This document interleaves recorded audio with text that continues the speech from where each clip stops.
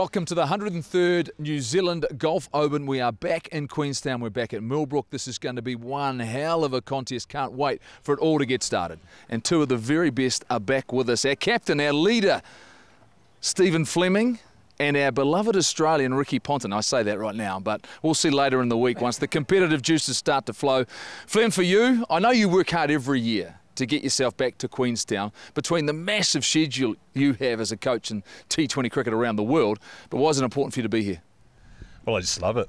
It's just a great week. It's a chance to mix with athletes that do something special and to get inside the ring and, and experience the the pressure, um, the accuracy, the brilliance of some of these players, and enjoy magnificent surrounds. But spend time with guys like you um, and just just relax. I think it's, it's a wonderful week. I find that hard to believe when you said that. To be fair, Ricky, but for you, it's been a couple of years though, right? Do you look at me or do you look at you? No, I don't know. There's a bit of both of us, to be fair. but it's been a couple of years for you. COVID hit, and all of a sudden it hasn't quite worked in terms of schedules. But how excited are you to be back? Uh, we've had a bit of a practice round today. You, Yeah. Are you feeling good? Are you feeling confident? And, and to be back here at the Open. Yeah, I think I played four or five in a row. I think right at the start, a few of those with Flem, and then missed a couple with COVID, and last year didn't quite work. But um, you just feel really lucky to be involved in, in the event. I mean, we get looked after really well, and talk, even talking to the not just the amateur players, you talk to the professionals as well, and they rate this as their best week of the year. So when that's coming from the pros that play a lot of great tournaments around the world, it makes you realise how special this week is. So yeah, I'm thankful to be here again.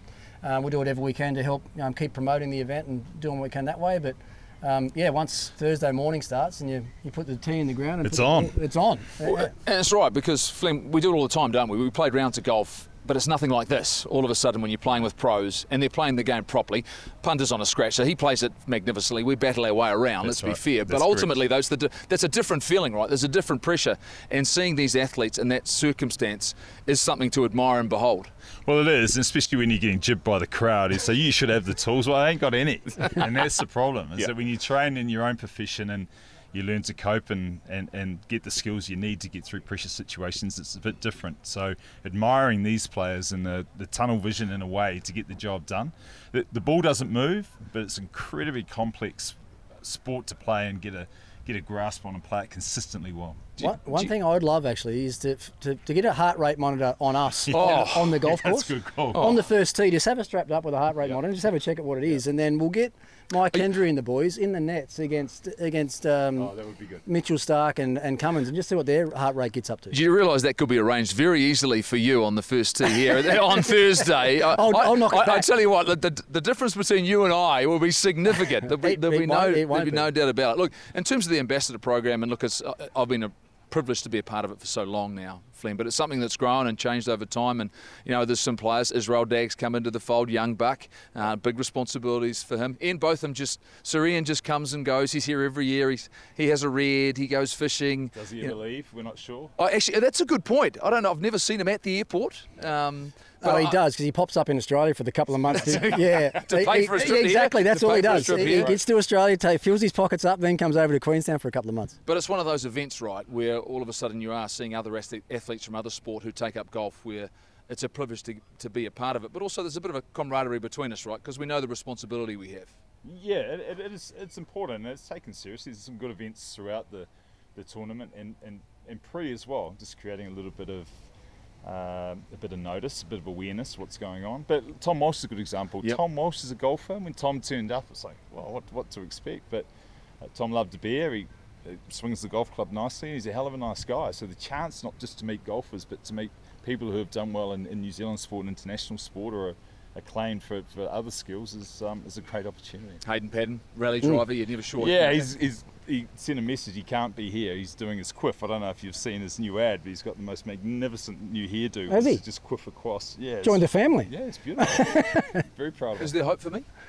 the better days might have gone. Okay, all right. But So, sure there's a out of the we can look at. ambassador team, we've certainly we've certainly got a superstar that has arrived, uh, Ricky, and, and to have Ash Barty at, at this tournament, in fact, she won, won three Grand Slam titles as a tennis player. To have her here and, and playing in this tournament, I mean, um, it's special to have someone like that who's probably I'm, I'm interested to, to see in how she deals with this Hmm. pressure because as an individual athlete, we're in team sports. Given you're a batsman and it's a, an individual game uh, in the game of cricket, but for her dealing with this pressure. How do you think she might go? No, she'll be fine. I, I, I played an event with her in the States last year, the Icons Cup thing that we, we played together, and she went against a seven foot two linebacker from the N, N, NFL and in the singles and cleaned him up. She'll be fine. Um, like she's a, she's a good player actually, and I think the fact it's, it probably is different. You know, she's been as you say, an individual on the biggest stage, you know, winning major mm. championships. I, I, think that pressure is, you know, you can sort of bring that across to the golf course as well. The individual pressure more so than sort of being in a team sport. And if you if you happen to fail, have someone that can pick up the pieces behind you. So, no, look, she's she's a great person um, and, a, and a good player. And I'm, I, I wouldn't be surprised if her and her partner make the cut this week. Well, you guys are clearly still active in cricket. You know, both coaching around the world, uh, both off to the IPL, right? Uh, there'll be a bit of competitive yep. juices around that. I don't know how much you'll give away on this trip. But the game's certainly changed. But Flem, I, I want to ask you about my um, fledgling cricket career. When I, I, played for you, uh, was there a, quite with, a bit of doubt? Me? Well, well, was there quite a bit of doubt when you gave the ball to me uh, when I was bowling? I, I got the sense every time you tried to set a field. What was difficult about it when, when you were setting a field when I was bowling? You just weren't able to put fielders 10 rows back. and that was a challenge. Did that have anything to do with the size of Eden Park? it might have There was never that. It was never the case, Jeff. But we did have one occasion, didn't we, when the first ever T20 International came up, and you'd just come back uh, from doing your bit of rugby stuff as well, and we had to bowl to this guy. Well, no, we didn't have guy. to. No, no, we didn't. well, I, I had to. It, yeah. Did you feel a part yeah, of that? part of it. But would you have even believed where the game of T20 has got to right now? Well, no, that day was a bit of fun. We we we did a bit of fancy dress and had the old um, uh, facial here. Uh, you guys didn't get the invite, I don't think. We had the retro kit. That was about enough. Yeah. But the, the few of us couldn't do much with our hair leading into that. McGrath, McGrath tried the Lloyd Christmas uh, Dumb and Dumber sort of look, but that was about as good as it got from the Aussies. Well, I had Hamish Marshall, didn't we, who trumped it and just throwed it up. But we at that stage, it was it was a great game. Um, there'd been some games in England, it's sort of a little bit of, of county stuff, and I had experienced that. But in terms of international, it was a great experience. It was a, a great occasion. But no, can you go forward what 15 16 17 years and say well look at the game now it really is probably one of the heartbeats of the game if not the heartbeat of the game for, for money and for what players want yeah, well, that was the first international played between us that day, and I, I did the press conference before the game and said that I, I thought that this format was going to be a great marketing tool for the 50 over game, you know, just to get a newer, younger crowd in into the game of cricket, show them what T20 cricket is, and then hopefully they'll stick on and like the 50 over game more because the 50 over game at that stage was probably starting to drop off a little bit, but it's gone the other way. It's left left the 50 over game behind, and a lot of the players have left the 50 over game behind as well. So there are a lot of um, a lot of fears, I think, around the world about probably 50 over cricket and Test cricket on the back of how successful the T20 game, game has become. Um, especially, I think, you know, Australia, England, India will probably keep promoting the Test match game as much as they can, but you can understand some of the other countries not pushing it so much. You know, Sri Lanka, Bangladesh, the West Indies, even Kiwis to a certain it's point. It's just expensive. Yeah, it's expensive right, yeah. to run. It's expensive to play and time wise, and it, it's difficult. The, the game has never had more money in it, but international cricket has never been poorer. Yeah has it changed the game though? It appears as though that all of a sudden all forms have got more aggressive. How batsmen go and approach their innings, the fact that it seems as though you, the, the, belief now you're you are playing shots that are more familiar to, to, you than they were when we played. You know, you, the V was a, a, genuine thing, whereas now you're seeing players who are coming through the ranks and swapping and changing from one um, sort of the game to the other type of the game. I mean, Ricky, when you look at it, how much of an impact has the T20 had on, on all forms? Oh, look, there's no doubt that it's. I think it's had a. It's had an impact. I'm not sure how great an impact it's had. I think I think it just depends who you pick in your test teams. I mean, if you look at the way Australia, uh, probably even India and, and, even New Zealand to that point, like we haven't really adopted that ultra aggressive approach that England have adopted. You know, and I think what we've seen since Brendan's been in charge of this English test team that they're willing to play one way, and most other countries are going to play the other way, and they're going to see whose method sort of stands up uh, under under the most pressure. And you know, Australia's method stood up in England. England's method probably hasn't stood up in India in pretty trying conditions. So, but I, have got a feeling that the way we start, well, the way we'll start to pick test teams, because there's so much exposure to the T20 game at a long, uh, a lot younger age now. I think a lot more guys are going to get picked into Test cricket out of T20 backgrounds, a la David Warner all those years ago. We've got another kid in, in Australia now, um, Jake Fraser McGurk. I'm not sure you've seen him He's really burst onto the scene in Big Bash this year, and he's he's probably going to work his way into a Test team on the back of T20 performances. So he's got his eye on him. Don't worry. But he's drafting no, we all players. have. Yeah, exactly. No, yeah, they're exactly. have, yeah. There's, everyone's auctioning. There's, there's bids expensive. going left, right, and centre. He's expensive, right? But that's to, you, to your point. He's expensive. All of a sudden, you're in a marketplace for players. I mean, and there's so many different T20 leagues around the world. Flem. I mean, is this is this the best way to take cricket to the rest of the world? Well, to, to a degree, you, go right back. It's bit, your initial question. We had pioneers of the game. You look at the Gilchrist, Viv Richards, um, and you had. Kevin Pietersen, Sh- Sehwag, who tried things, but the establishment and the, the, the history of the game kept suppressing it. Now, what T20 has done is allowed these players just to be free, and you, you're seeing a crop of players who have no fear. I, the skill level has gone up as they've, they've trained and practiced this, but the players, certainly players that I played with, if they had that same freedom, would have would have probably mm. been able to do the same thing. It's just that the attitude towards it has changed, and that's a good thing. It's the entertainment business that we're in. and It's entertaining people. T20 has done that.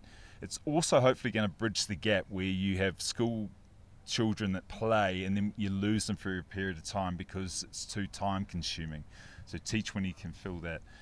What you have to watch now, though, is that the, the coaching methods are the other way around. So it used to be defence first, then learn how to get an attacking game. Now these young kids are coming with such a massive attacking game, the defence is dying.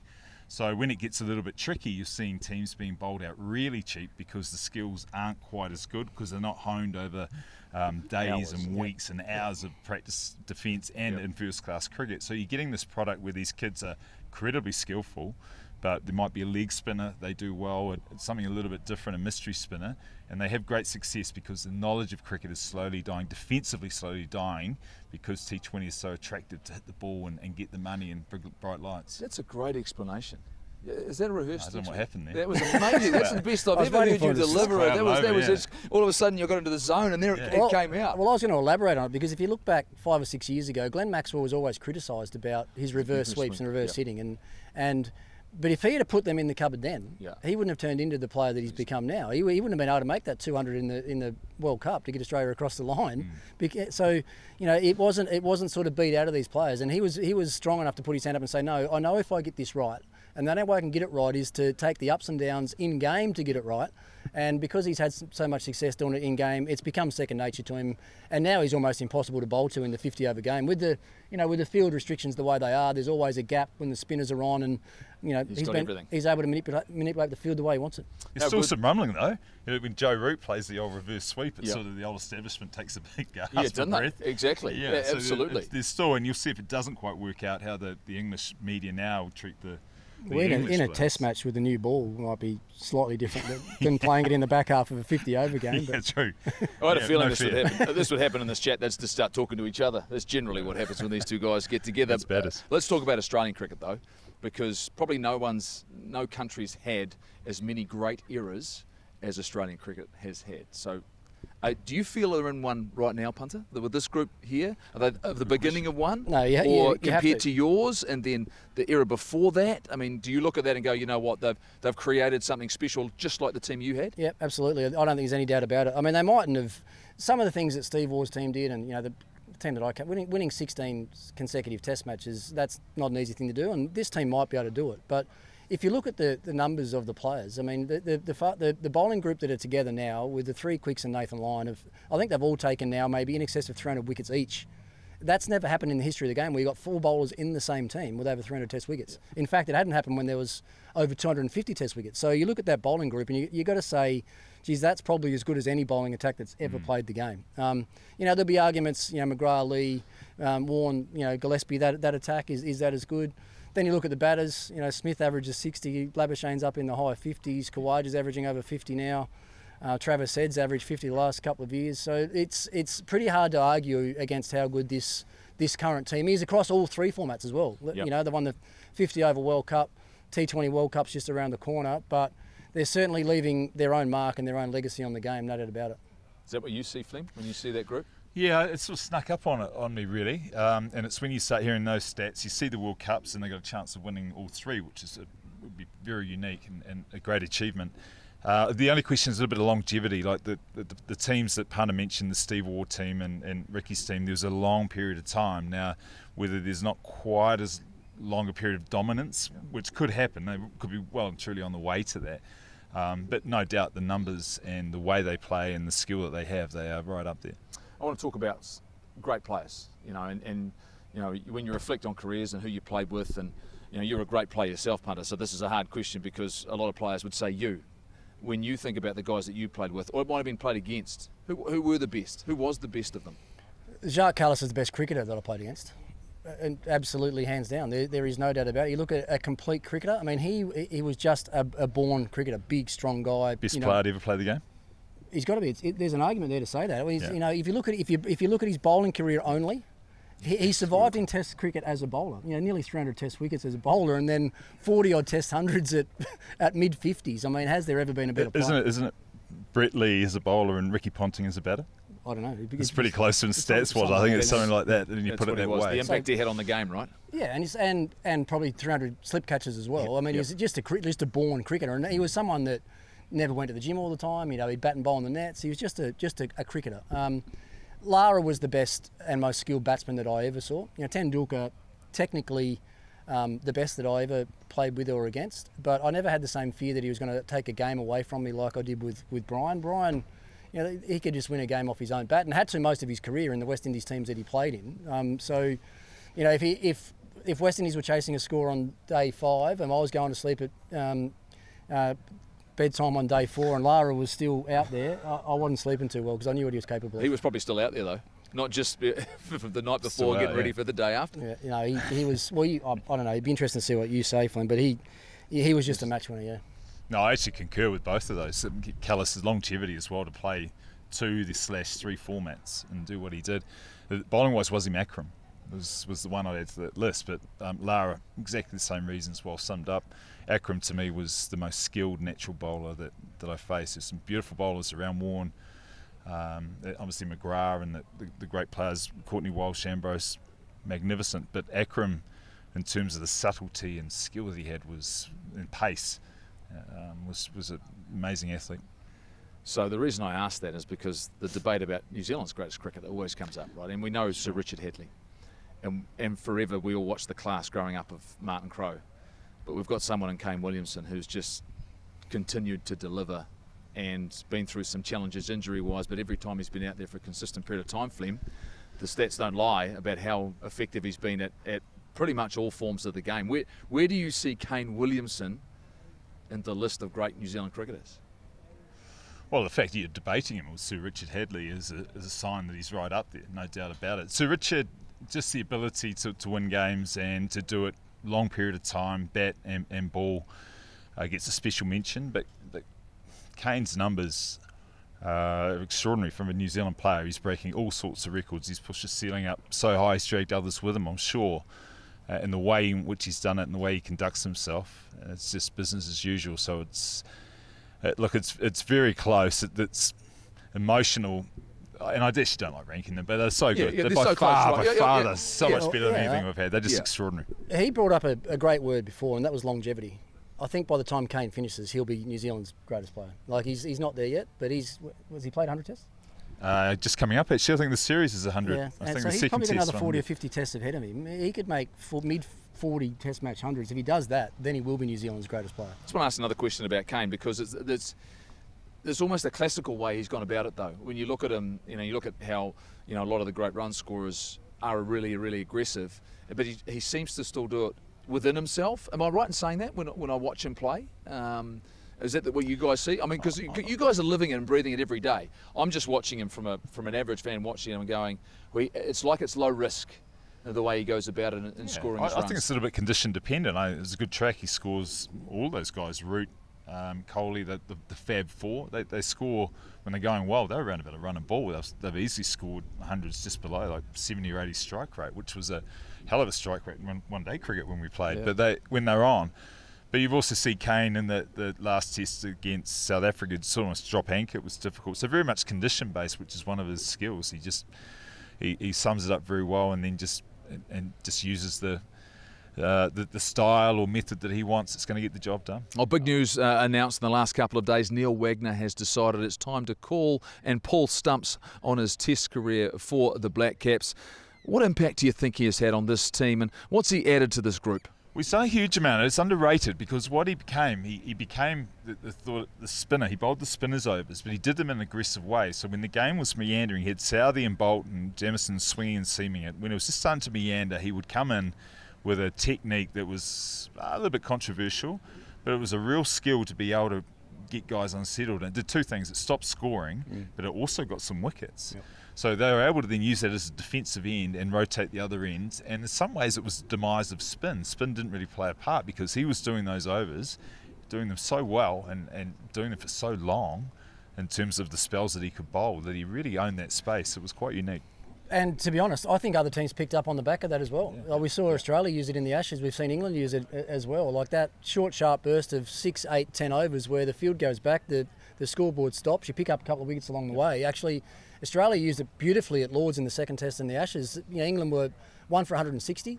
Cummins reverts to this heavy onside field short ball attack. They lost six wickets in about half an hour, yeah, and the Test match is gone. So that might not have happened if Wagner and New Zealand hadn't brought that into the game four or five years ago. And, and, the type of energy he used to bring. I mean, those players sometimes are just valuable to have in your squad, right? Well, they, lift sudden, everyone, they lift everyone lift up. Like, he, he would bowl 10 over spells of it, wouldn't he? Yeah, Run in, he bend his back and just keep coming and coming. You, you don't find those guys all the time that, one, are willing to do it, put their body on the line, and are good enough to do it over a long period of time. But it says a lot about him, what his team needed at the time. That you know, it, maybe this is not exactly the way I want to bowl, but my team need, need me to do it. I'm going to run in and do it and see if I can change the course of the game. But it was also skillful yep. to be able to because two two and over the bounces are one even we started doing, and then two per over. So if he blew them early, then the, the tactic's over. So the mm. ability to operate bit horrible, and, and, you could see guys trying to work out where, how are they going to play it aggressively or defensively, and, and constantly sort of getting them in a mud. It'd be horrible to face. You guys are just like me when I start talking about rugby. You get knee deep, you, all of a sudden you start talking well, through it because it's great. Because I, I, love hearing it. You know, it's it's when when there's people who have played it at such a high level and who are living and breathing it like you guys are. You're not doing that now though, and I think it's really important we do focus on now. When you think about our team, if we we've got someone in our group who can change the energy levels in our group, who is it? Flem, you're the skipper. Who are you relying on to turn the group around if things aren't quite firing? look at me. I'm looking at you. yeah, yeah, look, is, is, is that because he's the best golfer? No, where's Andy? Oh, where's Andy? Yeah, Andy, Andy, Lee. You have a lot of guys who can yap, yap, yap, but when you really need some substance, well, I think I think it's you, big guy. Okay. So come, we're thinking come Saturday, possibly Sunday, that this is our best bet right here. We haven't had anyone go through, I don't think, for a number of years. Well, was you? I think you were the last. Is, is, that why you mentioned that you were the last one to play in the final? That was nine years ago. that's what I'm saying. We haven't had many people go through. Yeah. To be fair, and so. at times John Hart has put a lot of pressure on us not to, which is akin to match fixing. So we're going to buck that theory and actually and make a real play this this year. I'm, I'm like I'm, like I'm backing Ash. Ash will get through. I'm not sure what handicap she's on this this week. She'll she'll love she'll love being here. She'll love the she'll crowd. thrive on it. She'll love pressure. the pressure. On the challenge. She might just have to run off between nines and go and feed the baby and come back. That's the only issue we've got. Uh, she's probably well and truly capable of doing that. I have no doubt about it. I'll say this though: uh, if there's one person you'd like to be in the group, who would it? If, if you, for you, today when you can stand on that balcony on Sunday and you can look around the ambassadors, and go, well, at least I beat him. Oh, Brendan Jones. Oh, you meant ambassadors? No, not the, the not the defending champion of the tournament. um, I, I, don't. I'm not really wired that way. I'm really going for that ah, team aspect, okay. Jeff. I know there's no, no, that's the leadership I ex- uh, expect from you. But I, I know as a competitor, you know, I mean, for you, because I know how much it frustrates you when you don't get the opportunity to go further, because that's what you, what you, love. I mean, is it? Oh well, yeah. I'd like, like to make it through to the weekend, but if I if if we don't, we don't. I mean, as long as I beat Beefy, who's the only pom in the field, then I'll be happy. But you are, to be fair, you're, you're a golf snuff. Would that be fair to say? Yeah, you love it. That'll be fair. That's oh. Hold on. We're all here because we love it, right? What, what's not to love? No, that, no. I think Rick's got a new level though. Well, actually, he, last time I last time I saw him, he, the first thing he said to me, "Oh, I've just got all this new Callaway gear." Like, like, so don't call me the golf snuff. I'm hitting it 20 metres further. yeah, but, but did he didn't say which direction? he didn't say anything. When you stand watch the golf with Ricky and every pro walks past him, G'day punter, how are you, mate? You good? Yeah. Yeah, good. Yeah. How are you going to play? How are you going? Yeah, they, they know who the best is. Ricky, have you seen anything in my game? That's the one. Actually, he was very helpful to me today, so I'll, I'll take everything I possibly get. Flem, good luck. Punter, good luck. Let's have another great week here in Queenstown. Good on you, boys. Thanks, Scotty.